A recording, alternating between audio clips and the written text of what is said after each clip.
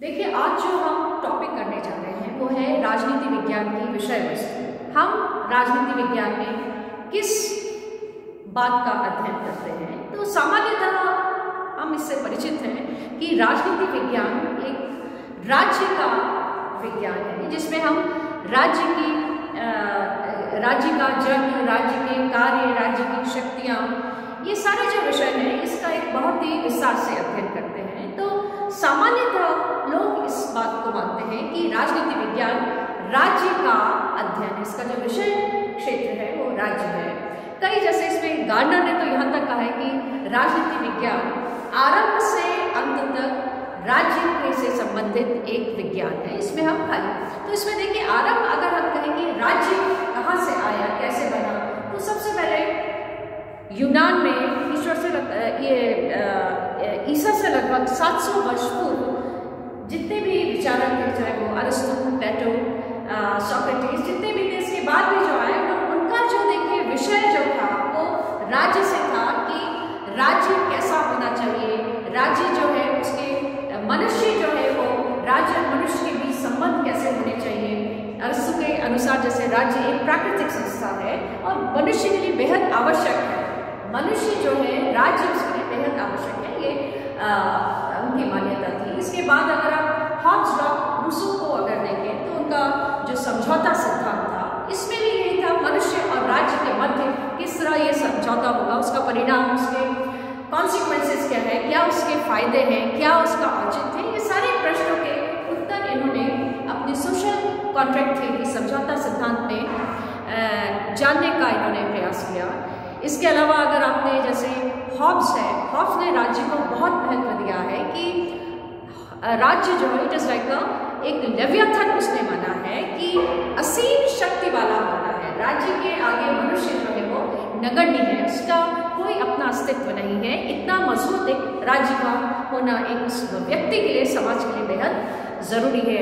अगर आप ग्रीन को देखें तो एक आदर्शवादी जो एक विचारक थे ग्रीन, उनका भी कुछ जो सोचना था, वो ये था कि राज्य अपने आप में बहुत ही संस्था है जहाँ व्यक्ति का संपूर्ण विकास उसमें रहकर ही संभव है। तो देखिए राज्य के बारे में जो आरंभिक हमें जो आ, कहना चाहिए जितने भी विचारक हैं उन्हें उन्होंने राज्य को एक बहुत ही आदर्शवादी संस्था के रूप में उसको एक पहचान दी कि मनुष्य से ज़्यादा जो महत्व है वो राज्य का है। राज्य का होना मनुष्य के लिए बेहद ही अनिवार्य है। जो आरंभिक जो हमारे ये सारे विचारक थे आगे चलकर देखिए राजनीति विज्ञान का जो आ, कहना चाहिए उसका विषय है वो धीरे धीरे राज्य से बदलकर वो सरकार की तरफ़ आ, आ, बढ़ा।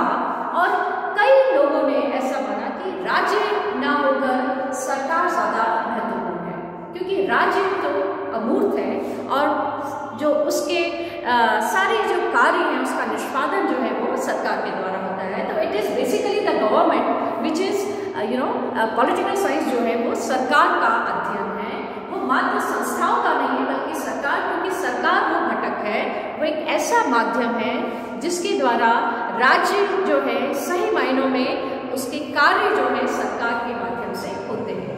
तो अगर हम कहें कि राजनीति विज्ञान का विषय क्षेत्र क्या है तो आरंभ में ठीक है जो विचारक थे उन्होंने राज्य तक इसको आ, अपने जो उनका जो भी शोध कह लीजिए या उनका आ, जो भी अध्ययन था, वो राज्य तक सीमित था। मगर जैसे जैसे हमारा जो विषय है, इसकी सीमाएँ जैसे बढ़ने लगी, इसका विस्तार जैसे होने लगा तो राज्य के साथ साथ सरकार का जो महत्व है, इसका भी अध्ययन होने लगा। और अंत में फिर इस बात से कई लोगों ने इसका समर्थन किया कि राजनीति विज्ञान जो है, वो राज्य का विज्ञान तो है है राज्य से जुड़ा हुआ विज्ञान है, मगर राज्य के साथ साथ सरकार जो उसका जो उसको आ, उसके लक्ष्यों को प्रतिपादित करती है सरकार का भी अध्ययन है। तो देखा जाए हमारा विषय जो है वो राज्य है।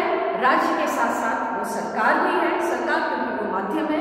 मगर इसका जो अल्टीमेटली जो आ, कहना चाहिए आ, जिसको हम टारगेट करते हैं जो विषय जो है ये समाज है। व्यक्ति जो है जो ये समाज है उसकी जो आवश्यकताएँ हैं इस तमाम आवश्यकताएँ राज्य के द्वारा, राज्य की जो संस्थाएँ हैं, उनके द्वारा, सरकार के द्वारा मनुष्य को वो सारी जो बेहद ज़रूरी जो आवश्यकताएँ हैं, उनकी पूर्ति होती है। तो अगर हम कहें कि राजनीति विज्ञान का हम विषय कैसे समझेंगे कि हम क्या पढ़ते हैं राजनीति विज्ञान में तो राजनीति विज्ञान जो है वो राज्य का कहना चाहिए विज्ञान है। पूरा हम उसको राज्य को समझते हैं, मगर राज्य के साथ साथ हम सरकारों का भी और साथ ही हम मनुष्य जो उसमें, उसका जो राजनीतिक व्यवहार है, उसको भी समझने का प्रयास राजनीति विज्ञान में किया जाता है। तो देखिए, ये जो राजनीति विज्ञान का ये जो मैंने बताया, राज्य सरकार मनुष्य के उसका बेसिकली पारंपरिक दृष्टिकोण भी हम इसको मान सकते हैं, क्योंकि पारंपरिक दृष्टिकोण में ज़्यादा जो केंद्र था, अध्ययन का जो केंद्र था, वो राज्य था, सरकारें थी। आगे जब जैसे ये विकसित हुआ तो उसका नवीन दृष्टिकोण वो सामने आया और राज्य राजनीति विज्ञान को खाली अपनी सरकार या राज्य तक सीमित ना करके उसके कार्य क्षेत्र को और आगे बढ़ाने का प्रयत्न किया। अच्छा देखिए, एक इसमें बात और है जो पारंपरिक, जो मैं आपको ये दृष्टिकोण बता रही हूँ, इनकी जो अध्ययन प्रणाली है, जितने भी आपको अगर जैसे हम इवन प्लेटो को हम देखते हैं, जो उसका एक आदर्शवादी वादी जो राजा चर्चा करता है कि दार्शनिक राजा जो है, जिसका वो है तो ये जितना भी जो चिंतन है, आरंभिक चिंतन राजनीति विज्ञान का, वो आदर्शवादी ये कहलाता है, क्योंकि इसमें एक एक क्या हमें पाना है, क्या हमें चाहिए, किस प्रकार का राज्य होना चाहिए, इन तमाम बातों पर ज़्यादा जो विचारक थे, उनका ध्यान था। तो आरंभ का ये सारा जो है वो इसको इस, कहीं ना कहीं राजनीति विज्ञान को एक, आ, एक भी माना गया है इन विचारों द्वारा, विचारकों द्वारा, जो कि बहुत ही एक यूटोपिया जिसमें खोजने का प्रयत्न किया है। एक आदर्श राज्य की इसमें कल्पना की है। राज्य को बेहद शक्तिशाली स्वरूप में देखा गया है और कहीं ना कहीं ये पारंपरिक जो दृष्टिकोण है, उसको भी दर्शाता है।